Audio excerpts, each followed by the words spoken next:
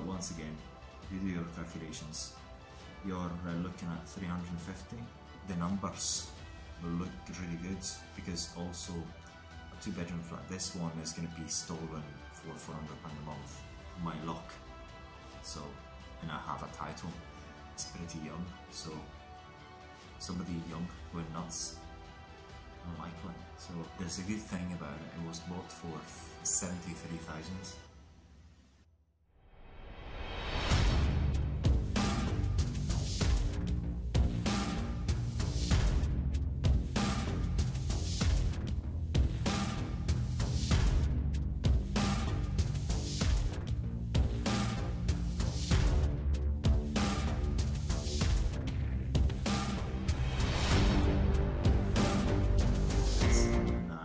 Wanted to pass do a bit of do a bit of pastime, then I would certainly go for it. But it's not. I don't. I don't want to to do a bit of pastime, so I just leave it and uh, leave it for someone else to uh, to go for it.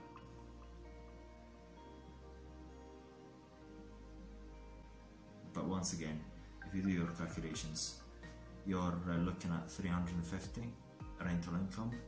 The the area new mills. I'm not saying it's bad.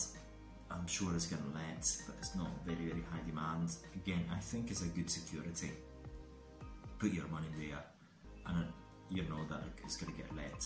Um, the money's going to work, uh, but you really you have to spend more money on it, and um, yeah, a security.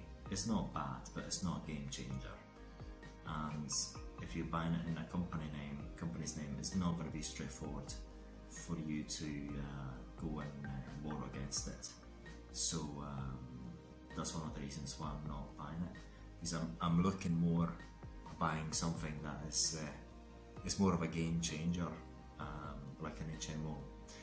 Uh, at a low price, I refurbish it, and then all of a sudden I get an income of 1,800 or something of the sort versus uh, only 350 um, because also with the HMO I can remortgage pull the money out and, and do it all over again. With this it's going to be a bit uh, more difficult. So um, this is why I, I leave it.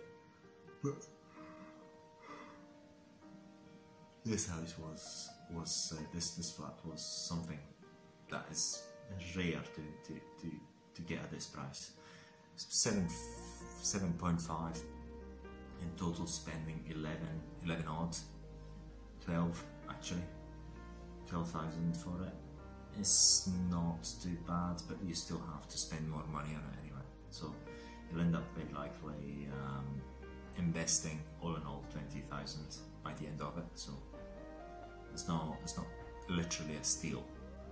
So yeah it's not it's not a bad place to put twenty thousand pounds or twenty five, depending on how much you're going to end up spending. But um, it's not a game changer. It's something that you collect. If you've got spare cash, you just want to do a, a little project. You do that, and you're going to get your three hundred pounds a month to, do that job. So not bad. Three hundred pound for life. then the problem I've got with it is the the um, the, the power the problem about not being able to refinance. Sorry, I'm a bit, a bit tired. The problem with this this house is that this flat is only a flat, right? There's a good thing about it. It was bought for seventy three thousand, and now it's sold. It's a giveaway uh, from the bank. Uh, the problem is I haven't. There hasn't been viewings in it, and it seems as if um, there's big structural problems there, but it's, it's difficult to tell what the problems are. Um, it doesn't say anything as what it is. Um, so if I can show you. Give you a background. Um, this is uh, so, so again, it has been uh, sold um, with a mortgage for £73,000 in 2008. Um, just the, the numbers will look really good because also a two bedroom flat, this one is going to be stolen for £400 a month. So once it's finished, of course. And it's a high demand, is a high demand area. So this title is good on paper. Now, the only drawback with this is that there hasn't been viewings with it. So I've looked at the legal pack and it's saying that the floor has been splitting. Now, I suspect there could be some major subsidence to it. So there's a big risk in here. Now, what is the worst case scenario? The worst case scenario is that you buy it, you just go, go visit it, and you realise that it's either beyond repair, there's nothing you can do, or it's going to take loads of thousands of pounds to repair it properly. Um, so it's high risk from, from this point of view. So how do you measure that risk? I'd say if I'm if I've got loads of money and i am playing at the moment, I would say five, four, five thousand pounds. I'll take it. If you're in the game of because this is a is a Russian roulette this one, but what is the upside? The upside is only four thousand pound a month. So um, by the look of it, if there's no subsidence, you're looking to spend in the region of 10,000 minimum. So foresee that this is not, although the area is, is in high demand, it's not going to go for a huge price. It's too much risk. So, and the risk is measured by the, and there's no home report either.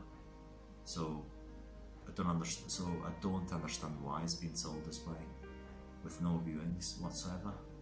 So um, it's high risk. So my, my take is nobody bids, I say for 1,000, I'll take it. So 1,000 then have to spend 2,400, so 3,000 in odds, so make it 4,000, total 5,000 pounds. One way or another, I'm going to make 5,000 pounds back, and then I'll just play my luck. So and I have a title. Now the problem is there's going to be council tax attached to it, so so if I don't do anything with it, I'm to pay for council tax forever. So that's another thing. So it, it is always good to view them. So to me, you just uh, have to, to go to the to the phone bidding, see what, what it's like and yeah.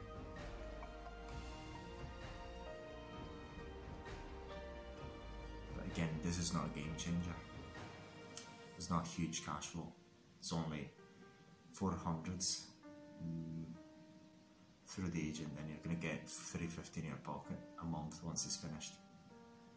But one really thinks and scratches his head why, after stripped everything, there's no logic to that. maybe the guy who owned it has gone nuts, but guy's pretty young. Looking at the title, the, guy who bought it is pretty young, so somebody young going nuts, unlikely. So I suspect some subsidence or something of the sort.